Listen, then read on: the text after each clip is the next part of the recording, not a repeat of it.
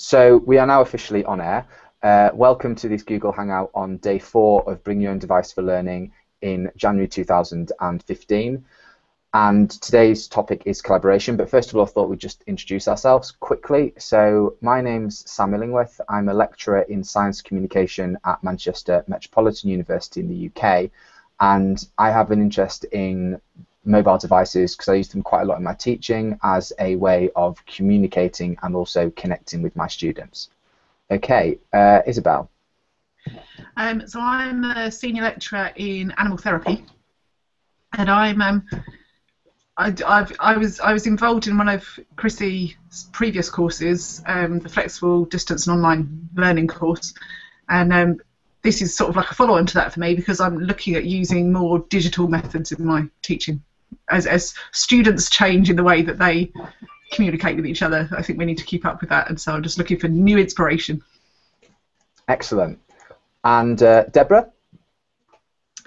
Hi, um, I'm Debbie Baff. Um, I seem to be on here twice.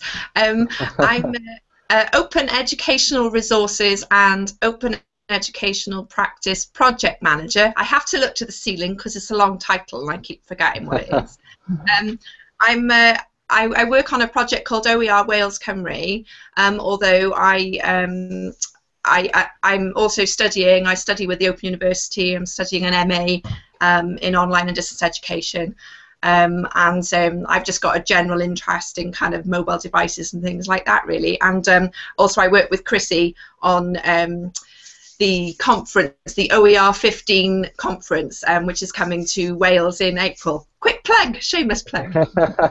shameless, shameless plugs are absolutely shameless plugs are absolutely okay.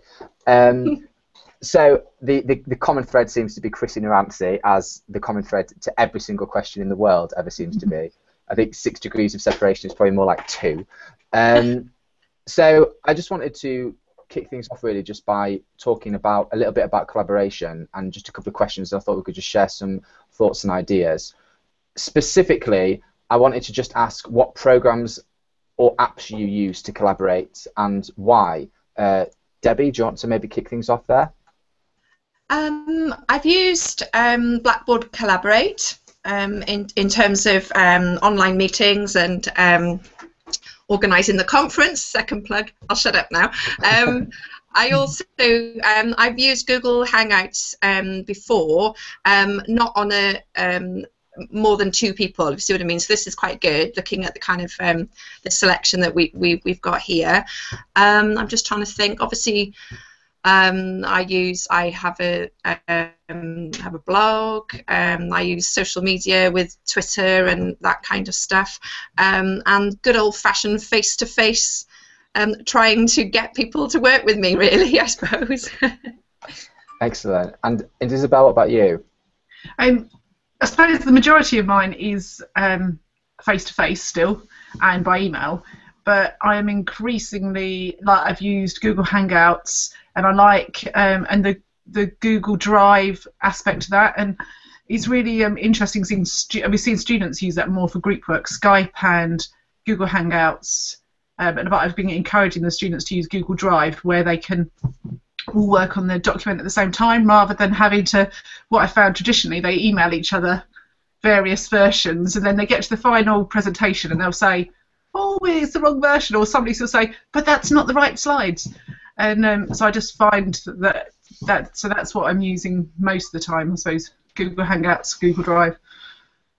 Need more yeah. inspiration. no, no, that's very good. So I think um, it's really interesting with Google Docs and Debbie. I saw you uh, nodding your head there as well. Do you use Google Docs a lot?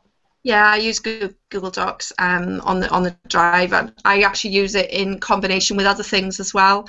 Um, so I use it in combination with Collaborate. Um, I use it in combination with something called Basecamp, which is a project management tool that I use. Um, and that kind of, um, although that it's a bit like um, it's a bit like Facebook for, for projects, if you see what I mean. So it provides you with a central hub where people can um, can meet, um, and then I kind of link out to documents so that we can work on them together. Um, whether or not that's a spreadsheet or a, or a report or, or whatever, and it, you know it's, it's very useful. Google Drive, I think, is uh, is very clever. I use it for all sorts of things, really. So, I think um, My uh, my my only concern with Google Drive is that I find it really weird when you're typing and you can see somebody else typing at the same time. It just, Yeah. it just looks really really strange. And they've always, always got really weird identities like Anonymous Fox and Squirrel. Yeah, there's some really nice alliteration, isn't there? Like uh, yeah, exactly exactly like anonymous ar- armadillo or Yeah. uh, surreptitious um, spherical shell or something like that. That always, always seems to come across quite well. It, Isabel, I just want to come back to something that you touched on, and I think uh, Debbie, you did as well, and that is, I think, the importance of face to face. And do you see that still as really being crucial to have um, essential collaboration? at at least in some form, you need face to face. It's one of the reasons I like Google Hangout because you can actually see the person you're talking to, and you can, so you can. It's a better engagement, um, uh, a better indicator of their engagement. Um, but I do think it. I, I like the mix model where some's done using other forms, and um, I mean, it was funny. I was only listening to um, Deb that um, it, it's um, Facebook both for students. So our courses they tend to each have their own student page, and they share ideas through that. But also we have ones for you know like the far, for farm research, and so lecturers are using it as well. Um, but obviously that's moves away from the face to face. But it's that combination of both I think that's important. Yeah. Debbie, have you got anything to add to that?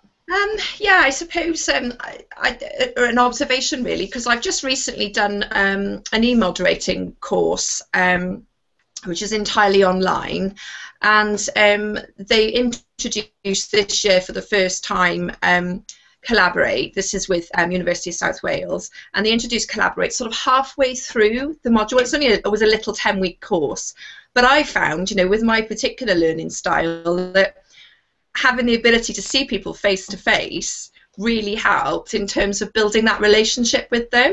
So even though we had a kind of environment or a, you know, a VLE to um, to use and kind of um, interact in a in a an asynchronous way, I suppose, having that visual really really helped me, and I would run in the course. Um, and I said, but having said that. on one of the um, modules I did with the Open University, we also used Collaborate um, as a group at five or six students at all. It was just literally run by students for students. And none of us were brave enough at that time to use the video. Okay. So we had, you know, but we, we still found that we had that connection, you know, in terms of almost like an old fashioned um, telephone, isn't it, you know? And I was going to ask, with Google Hangouts, can you also share screens and things like that? Um, yeah, you can. So to give you an example, I'll just screen share the. Um, I don't know. Let's let's screen share. I had my agenda up earlier, so I'll screen share my agenda with you um, if it's there. So if I go to File, Open Recent, this is my here's my agenda. So you should be able to present this to everyone. If I'm looking now, can you see that agenda now? No, it tells us you're presenting something, but says- I can't actually see anything. I think I think. I think the reason for that is that it my Word document has actually stopped working. So what I'll do, what I'll do instead is I'll just I'll screen share um, my emails, so you can Hey. see that. Um, so you can actually see the email details there. It, it can be done. There's basically if you just are you using a PC or a I'm lap, a laptop, yeah.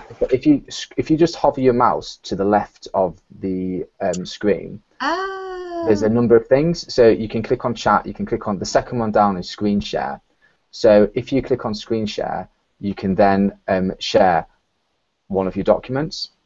Um, so I don't know why my Word, I think Word's just stopped working on my computer. But if it hadn't, and if it was being sensible, then I'd just be able to share that document with you. Um, have you have you used it? Have you used screen share before, um, Isabel? Um, I think so. When we, because when I've collaborated with people before and we've been working on documents, I'm pretty sure we've done screen share then. But I find they keep changing Google Hangouts, and every time I use it, I, I can't find anything. Yeah, things thing, things things do seem to change quite quickly, don't they? Um, but the re- I've used Google Hangouts quite a lot for international conference calls, just because they're it's, it's a bit more manageable than than Skype, and you know, obviously as well um, as that, you can if you want to do this, which is essential for any um, serious telecom. Uh, those glasses are quite nice actually. Um, so, do you you know, Debbie, just going back to what you're talking about, this old-fashioned idea of like a telephone, but still, still collaborating. Do you find that remote collaboration um, has any barriers that face-to-face ones don't? Um. Well, yeah, I suppose so. I mean, it, it, it, and again, it depends how you're actually interacting with that person, isn't it? I mean, I, I tend to find that, um, you know, the people that I've engaged with in the kind of the open world, you know, um, are so helpful and so generous and so willing to collaborate. Um, you know, I think that think that really really helps, and and almost with that kind of philosophy in mind of people willing to to collaborate, the tool doesn't really matter, you know, because I think people will always find a way, you know, um, and people kind of reach out to, to, to people. Um, but I can, you know, I take the point that, you know, if it's um, if it's face to face, it's probably much easier and much quicker to build a relationship.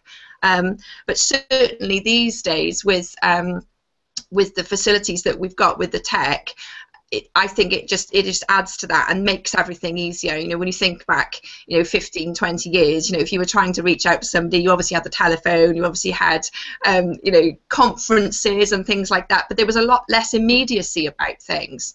Um, and I think, you know, the tech that we've got now really helps with things like that. No, definitely. Isabel, would you like to add anything to that?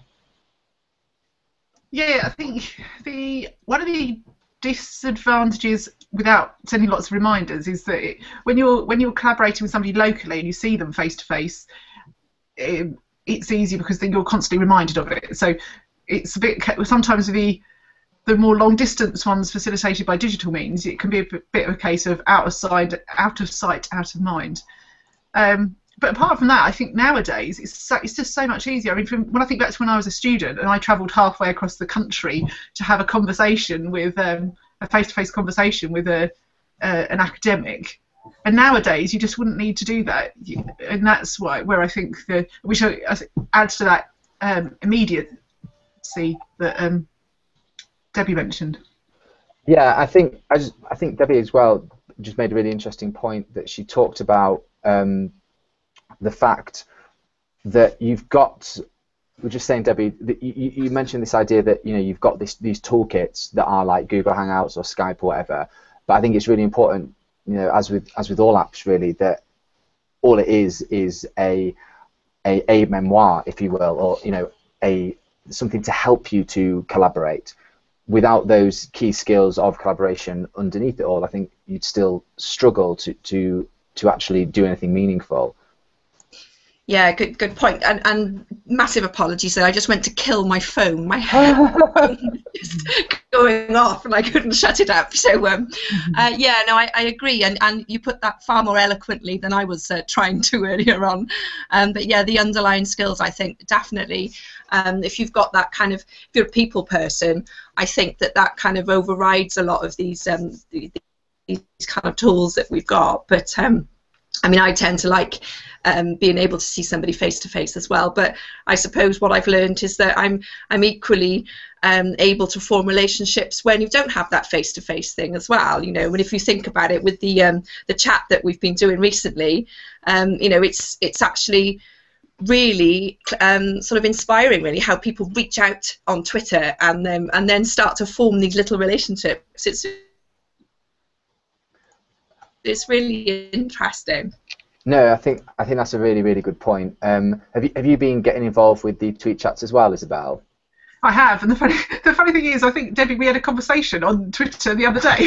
so it was really funny there faces to to because the the the, the um, icons are quite small in Twitter, and like mine is randomly me on a horse, and you know you can hardly, you wouldn't be able to recognise me at all from it. we should all have a have a um, a T-shirt with our Twitter ID on it. it has to be said, I wouldn't. I, I didn't recognise you at first, Isabel, without the horse. But now that you've said that, it, a lot of things are coming into uh, are coming into focus. Yeah.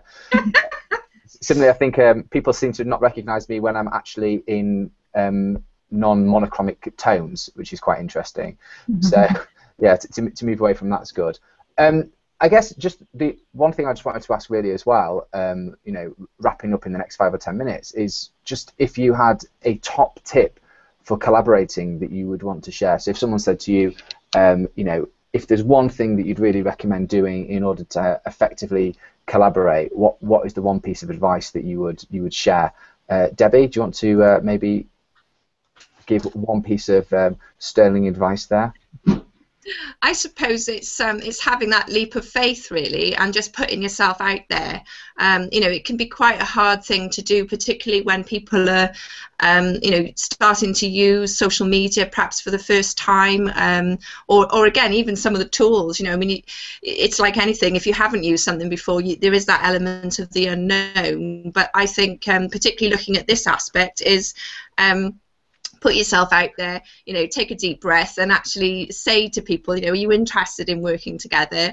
Um, you know i mean sometimes these things happen naturally but sometimes you have to force the issue don't you in a nice way? No definitely. And definitely. i wish i put some makeup on sorry. Oh. it's a it's a problem i have every morning when i see myself on screen. Uh, isabel um, I would agree with everything um, that Debbie said, but it's also um, for me the, the thing is making sure you've got clarity, so mm. that at the end of any meeting or anything like that, you know exactly what everybody's role is, what they're doing, so that you don't end. And I mean, I think that goes. That's that's one of the as you were saying earlier, having those basic skills. That doesn't matter whether you're face-to-face collaborating or um, collaborating um, at distance via digital means. They're the sort of things that you need, you know. So when you've got a project to do or you've got something that you want to take forward, you need to know what each person is doing. And I think that doesn't matter what medium you're doing it through. No, yeah, I think, I think I mean, that's really good advice. I was just going to say that obviously in my in my kind of day to day working life, you know, as a project manager, this is it's a new role to me. I wasn't doing it, um, you know, this time last year, um, and um, you know, I have to work with all the Welsh HE institutions in Wales, um, and um, you know try and kind of work with them all, even though they all work in a slightly different way and it's very remote and all that kind of stuff. So you know, it's um, it's quite interesting really that you building that network, that secure network at the beginning. Um, you know, I had to kind of go to people, introduce myself, say who I was, you know, what I was trying to achieve, and you're very, um, you know, you, have hit the nail on the head there, Isabel, in terms of the clarity um, of roles and also what what your long-term goal is and what you're actually trying to get out of things. So, um, you know, it's um, it's very important to make sure that uh, everyone is on the same page. So, uh, yeah, I agree. No, I think that's really good advice from, from everyone, and I think the, the only thing I'd, I'd, i guess I'd add to that is, you know, exactly like you say, you shouldn't just you shouldn't be afraid. I think to to start these conversations, because most of the time, you know, when you're in a if either in face to face, if you're at a conference and you're thinking, oh my lord, that's such and such, they're such a senior academic, I'm really scared of going near them. They'd be absolutely delighted to talk to you. And similarly with you know Twitter and things, it's just great to be able to send out a tweet to someone and say, hi, um, really interested in your work. I wonder if you want to talk about this. And I think bring your own device for learning is amazing for that because it's a really, really inclusive environment with a friendly network of people who love collaborating, who love working with other people, and who love learning together. And so I hope people get a lot out of this week, as, as I'm sure they will. Um, so yeah, are there any final thoughts to um, say before we wrap up? Great bow tie. Oh, oh great bow tie. Okay, well, yeah, there is there is a collection of about thirty at the moment. So the, the Bring Your Own Device for Learning community can short, slowly be revealed them one by one over the years. Um, so I just want to say, as a quick advert, I believe that Debbie's got a conference coming up somewhere in Wales that she would like a lot of us to attend to. So please uh, listen back to that. And also, there is the tweet chat this evening at 8 o'clock on the topic of collaboration. Um, so thanks very much, Isabel and Debbie, for joining me. I'm going to stop broadcasting a second, but do stay there and we can just say goodbye. But thanks everyone for listening. I know there's been quite a few of you listening and watching in as well, and um, we know you're not voyeurs, but you're usually enjoying the process. And thanks very much. Bye now. Bye. Bye.